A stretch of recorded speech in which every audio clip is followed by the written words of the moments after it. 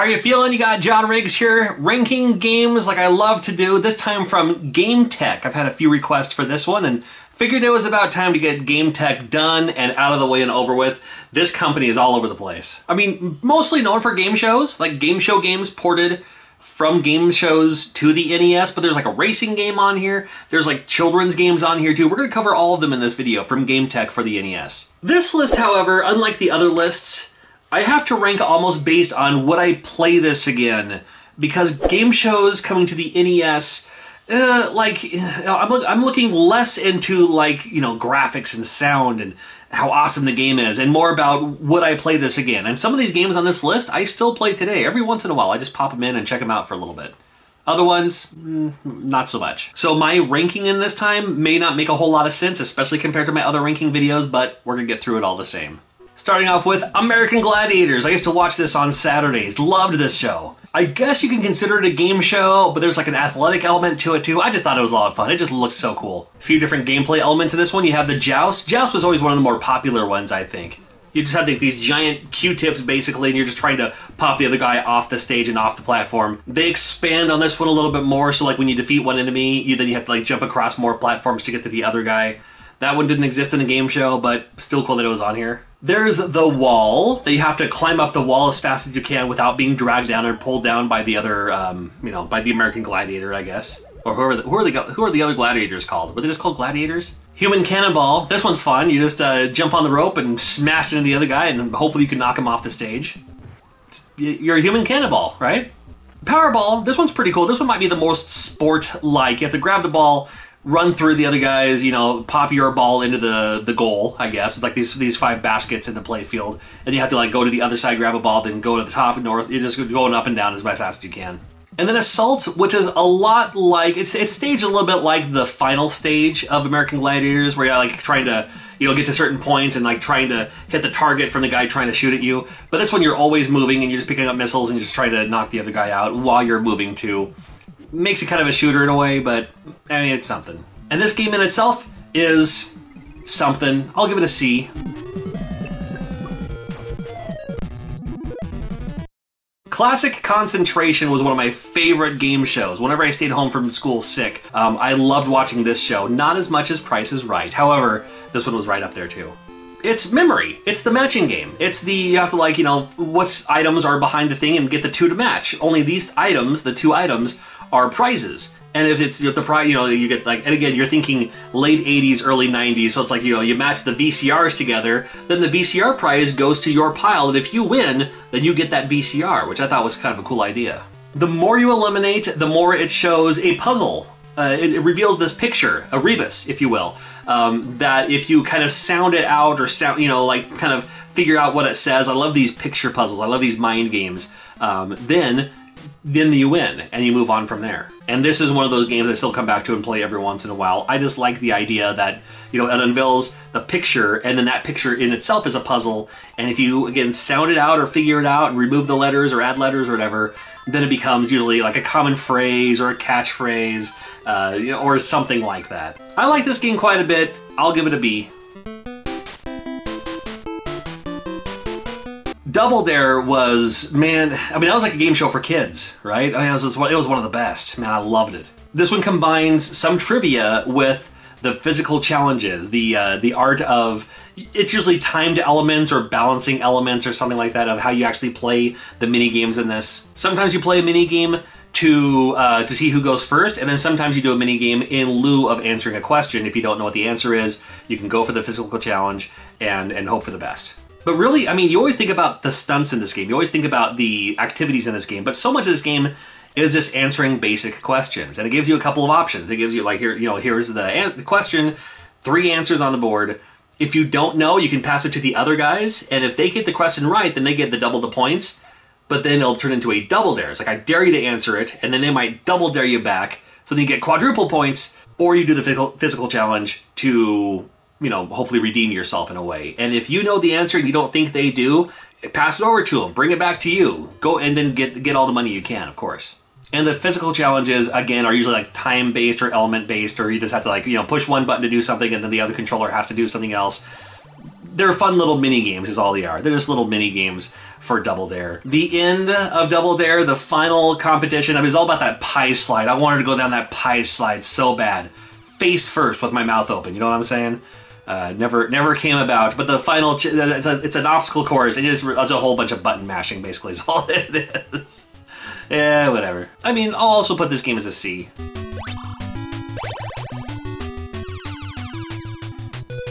Oh, Family Feud. This one is one of my top favorite game shows of all time. Not so much current day, modern day. They've certainly put the innuendo factor into the questions to get that kind of response from the audience. But growing up, uh, in the Richard Dawson days, and then later on, was it Ray Park was the, the, the next host? Um, I really I watched a lot of Family Feud during that time. I thought it was a lot of fun, and I still like Family Feud today. And if you're not familiar with what Family Feud is, it's two families uh, that go head to head, and they just answer a question. It's like, hey, um, we asked hundred people this question, and here are the top whatever answers. You know, the, the, the top most popular answers that they had. Playing a game like this now, you have to think late 80s you have to think early 90s because that's when this game came out. So when you uh, so when you see some of the questions and then like you see the answers you're like what? Really? And you're like no no that's that's the way it was. That's actually that's pretty accurate for for the time. Something to consider anyway. I'm a huge fan of this game. I'll put this game as an a. I still play it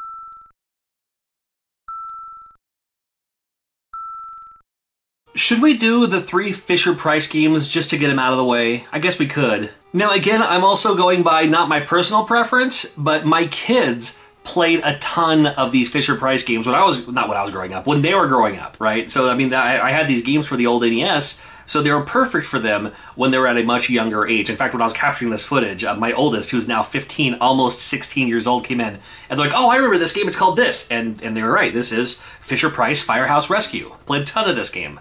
Starts out as a maze, and then you have to get to the point of destination within a time. And then once you're there, you have to get underneath where the uh, where the animal is or the people are, and then rescue them, and then you're good. And that's the whole game. That's Fisher Price Firehouse Rescue. So based on their reaction, well, especially that, um, but them coming in and saying, "Oh, this game, I want to play this game." It's like, no, you don't. I'm just capturing footage for it. Uh, so um, based on that reaction, oh no, I'll I'll give this game a B. I'm going to give this game a B in and of itself. It's it's great for kids. It really is.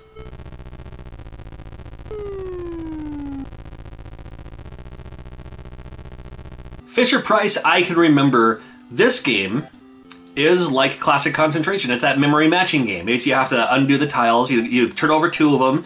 You get it wrong, then the next person turns over two more, and you have to look for the same idea on those, and then they disappear, and then you get that pile or whatever. You get the points, whatever the case is. Uh, for I can remember, and it's a great. Um, I mean, it's one of the one of the oldest kids games I can think of. It's like one of the first earliest you know, games that kids can understand or get. It's like, okay, I don't see it yet, but I have to remember where that is. And great for uh, cognitive thinking, I guess. I don't even know if cognitive thinking is the right word, but it's great for great for early development learning. Is this I can remember game for the Fisher Price, and it's fine. It's a C. Fisher Price Perfect Fit. This game is the one that they didn't really play much, because even on the hardest difficulty setting, it was still too easy. It's puzzle, but not really. You have to match the silhouette to the silhouette, and there's not really a challenge there. There's not really anything to do there. You just do it, and you're just like, okay, you know, next. Well, there's, there's not much going on with this game. I'll give this game a D. about a sports game from GameTek? That's right, we have Harlem Globetrotters. This game is actually a kind of a decent basketball game. It's not supposed to be I was about to say it's not supposed to be a great basketball game. They're going to make it as good as they can anyway, right? But it's fine, and it's actually pretty simple for a basketball game. There's not a lot of, you know, have to think on your feet, quick maneuvering and all that. It's just the, it's Harlem Globetrotters. You either play as the Harlem Globetrotters or the other guys, the Washington Generals, I guess. I don't think they really call them by name in this game, but that's always who they play up against. And I'm not a betting man. However, if I was to wager on a game, I would never put my money on the Washington Generals. Harlem Globetrotters has been an American staple of entertainment for decades. Now. And if you see them live, I mean, it's hard to see live events right now, but if you ever if you ever come to your town, you're like, oh, those guys, old school classic. They put on a show. It's such a great show. Uh, you know, for grown-ups, for kids, especially for kids. Um, everyone gets involved. The referee has a good time too. There's so much happening, and it's just it's super fun to watch. I'm, I'm a big fan, and not just because they were in an episode of Scooby Doo once upon a time. I mean, it's the Harlem Globetrotters. How can you go wrong? And the NES game it plays like a fine, you know, basketball game. Every once in a while, there is a couple of things, you know, like the, the, referee will trip over themselves or something like that, just for fun, because that's what happens when you watch the Harlem Globetrotters live. this game's fine. Um, I mean, is it fine enough to give it a B, though? No. I'll give it a C.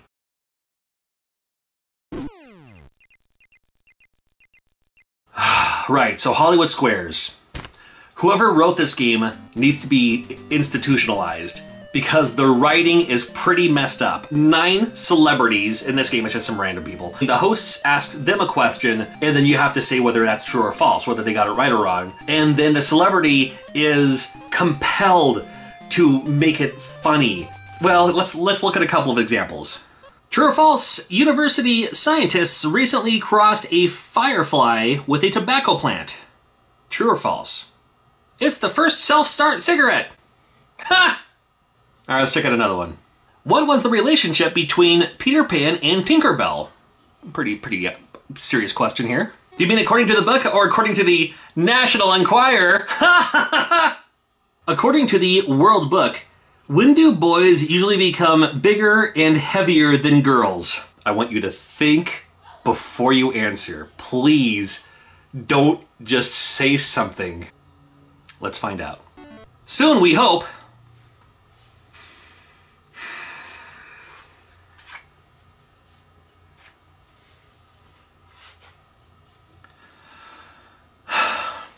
Game's a B. They made four Jeopardy games, as well as four Wheel of Fortune games. We'll check those out at the end of the video. But four Jeopardy games, we're going to cover them quickly because Jeopardy is Jeopardy. And if you're overseas, you're not familiar with what Jeopardy is. Jeopardy was really confusing for me as a kid because the questions were like adult-themed hard they're like, you know, asking questions that I didn't have a clue. For the most part, I'm a little bit better off now. But they ask them in a form of a question. Like, they give you the answer, and then you have to say the question. So the answer, the question rather, you know, they'll say a thing. That's like, this is what happened. And then your answer to the question, question to the answer would be, what is this? Or who is this? Dumb idea. I don't know who came up with this idea. I, it's just it's another take on a trivia question. We're gonna give you the answers. You give us the question to that answer.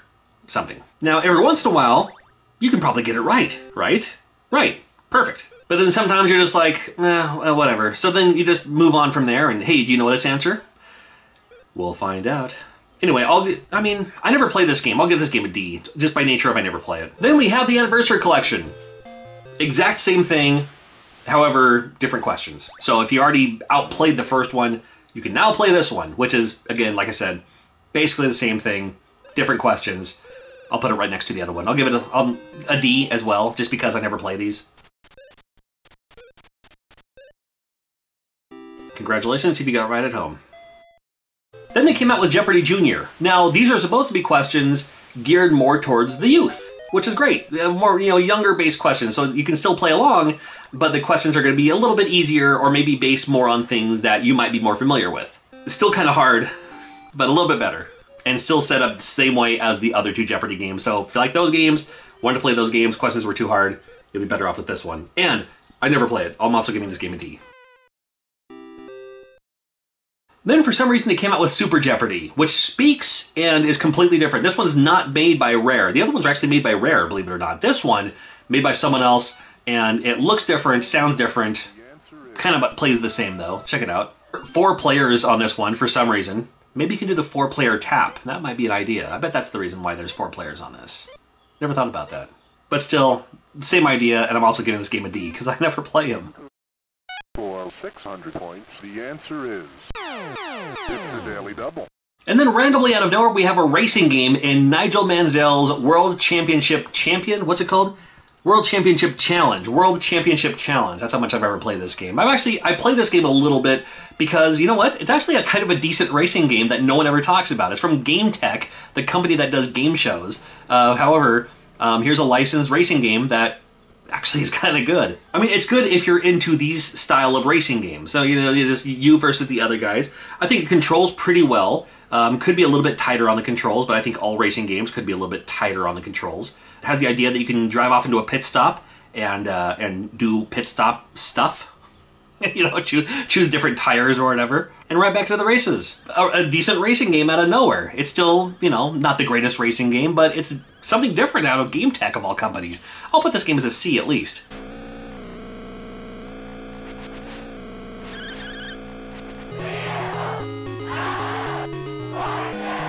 And then we move on to Wheel of Fortune. There's four of them, and uh, like Jeopardy, some of them pretty similar, one of them completely different. But it's still the same theme of the game. It's just not made by the same company. Not, not made by the same team as the other ones. But we'll talk about them right now. Wheel of Fortune, again, if you're not from the America, not from the United States, um, not familiar with what Wheel of Fortune is, you spin this giant wheel that tells you the price, like the, the point amount, the dollar amount really, and depending on um, spells out a phrase or a word or a person or something like that. Um, you know, if, you, if it lands on a number, you say, "I would like an L, please," or whatever. And then um, if there's two L's, they light up, they turn over, and then it reveals more and more pieces. And then if it's like a hundred dollar spot, and you ask for L, then you get two hundred dollars because there's two tiles that flipped over. Pretty cool. And this one, I'm a little bit easier at this one than I am with Jeopardy. And that's really about it. I mean, there's like you can lose your turn, you can lose your money. Um, you know, there's other prizes you can win, I guess. But really, it's all about just spinning the wheel.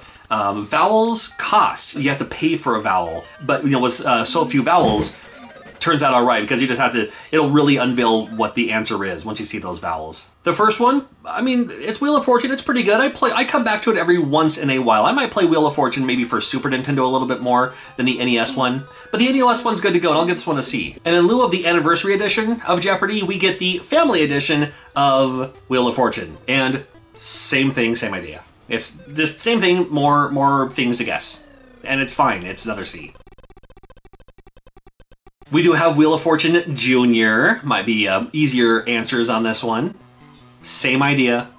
I'll also give this one a C. And really, finally, we have Wheel of Fortune, the Vanna White edition. Now, people watched uh, Wheel of Fortune because Vanna White was the co-host. She really just walked over and she used to turn the tiles around. Now she just goes over this little touch screen, touch that. But she's, you know, she's an integral part of the show um, because I don't know, because she's Vanna White. And even though the Vanna White type character was on these other games. She's now actually featured in this game on the box art and everything. Got a little licensing deal out of it, so props to uh, Vanna White for for going through that whole thing. And it looks a little different. I mean, it actually kind of looks like the other Jeopardy one, you know, the uh, the Super Jeopardy or whatever. But it plays like a plays like Wheel of Fortune, and the wheel looks a little bit different. Pretty cool on this one. And every once in a while, you just find those questions. You're just like, "What is the answer?" I'm getting so close. I have no idea what the answer is. Do you know it yet? Have you figured it out yet? We'll, we'll, we'll speed up the process here. Man, if you knew that, more power to you. You know what? I'll give this game a C. If you're like, where's Price is Right? Where's Password? It turns out those games were going to be made for the NES. They were, but just never came to fruition, never came out. I don't know what happened to them. They would have, I think both of them would have done very well. Would have loved to have seen the $10,000 Pyramid, want to see some Card Sharks, some Tic Tac Dough, maybe. I don't know. What are some other classic game shows we should have got on the NES? Let me know in the comments below. And always ranking games too, so make sure you're subscribed. More videos are always coming out. Thanks for watching.